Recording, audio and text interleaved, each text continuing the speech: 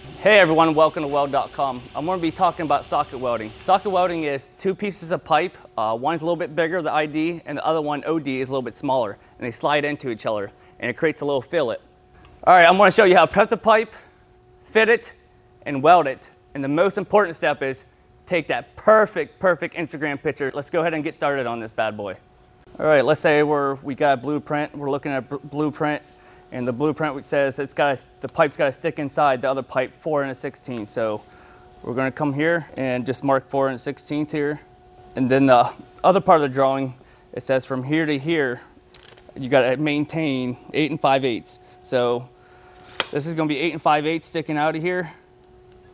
Uh, then this side is going to be 4 and 16th. So the next step is we're going to draw our line with a pipe wrap. So we know this is going to line up with our pipe. This is a pipe wrap. This one is one to six inches. Uh, today we're gonna be using it for drawing a straight line around our pipe. There's quite a few things that you can use this for, uh, finding measurements, your angle, fish mouth, coping, and your branch tees. You can lay them out with it. I mean, there's lots of things you can do with these. All right, the most important thing is keeping it on the line. You wanna keep this tight each pass. You wanna snug her up. You wanna match these ends, match each one on this side and it's this side. If you don't have this straight, your line won't be straight around your pipe. All right, so make sure your soapstone's got a real fine tip on it so your line's not fat. The reason I'm putting a line on because I know I want to remove mill scale right here. I'll be doing it again later. So that's done. So we're going to grind, let's say uh, inch back here and inch back over here. So we're going to clean this mill scale off right here because this pipe's sliding inside and that's our 4 and 16th. Then we're going to take this other pipe. We don't have to draw a line or nothing. We're just going to clean the mill scale get some of this rust off about an inch back. Uh, so when we put these in together, it's all clean, fresh metal. All right, I'm using a uh, Berg wheel Victor Green 36 grit. It's pretty aggressive. That's why I want, I want to get, speed up my time. Uh, all we're going to do is just clean this up one inch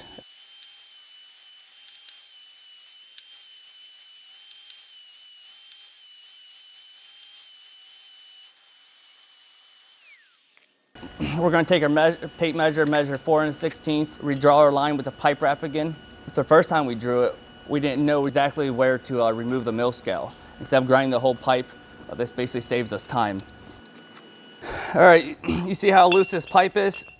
So we want to split that gap evenly all around four sides. So what we're going to do is measure the ID of this pipe right here. It's two and a half. I always got to write measurements down. So it's two and a half. Then we're going to measure this pipe. It's two and three eighths. So we got two and three eighths. So we're going to take two and a half minus two and three eighths. So it's an eighth inch. So we got eighth inch, we need an eighth inch. But if you think about it, you divide uh, eighth inch by two because we got two, um, two space right here on the gap. So it's going to be a 16. So we need four 16 spacers. We're going to do one at 12 o'clock, one at six, one at three, and one at nine.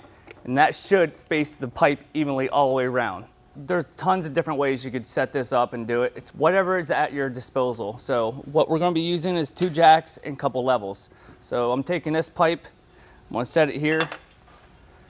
There's different ways, remember that guys. Then I'm gonna take this and set it in here. I always get two levels identical because you don't know if the gaps between the black, the black lines and everything could be a little different.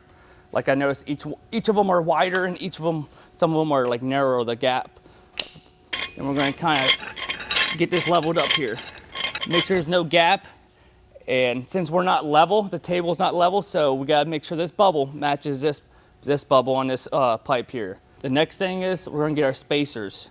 Since we need 116 spacers, remember we did our math, all I did is took like ER70S-6 wire 116, what, whatever's at your disposal. Sometimes these fall around, so I just stick this in here a little bit, take a little tape, you're just not, it's not fighting with you. That's it. Now we're gonna go ahead and level it perfect now. Most important, we gotta get our 4 and 16th line. Almost forgot that. So that's our line. We're gonna match it to the edge of this uh, pipe right here. So this line's, this bubble's hugging this side of the line. So we're match it just like that. Then we're gonna check our measurement. We had 8 and 11 sixteenths from here to here. And also if you stand right here, if you look all the way around it, we're even. So I'm using 1 16th filler wire. I like have my tacks a little small because so when I'm welding over them, it's not gonna hump up like a pregnant worm or something. So I usually tack at a triangle. All right, so I'm gonna be tacking at three, uh, nine, and 12. So we gotta make sure we're maintaining eight and 11 sixteenths from here. So we're at eight and 11 sixteenths on the, on the money. Uh, sometimes you're allowed plus or minus an eighth inch, uh, but we're all good. I usually check three spots. I usually check one, rotate it a little bit, check it, I, I rotate a little bit and check it. So that looks good. We either call an inspector over, but we're practicing. So we're gonna go ahead and chuck it up and weld her out. All right, we got the pipe chucked up in the positioner. We're gonna go ahead and weld this. I'm running about 185 amps, 180. So we're just gonna start on our tack and weld her out completely. So I'm running eighth inch ER70S-6 wire with a foot pedal, Everlast 211 SI.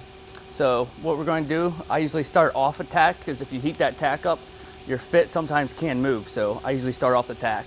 So all, I got, all I'm doing is resting my arm on the pipe or you could have it in off the pipe. So we're gonna go ahead, start the arc, initiate it, and get it to the size that you want it. I usually get it a little bit big, but it's not crusting or not busting over to the top edge of the pipe. I wanna keep it inside the uh, little groove there, the fillet. So that's all I'm doing. And I count, I go, to keep my dabs like consecutive, I go 1001.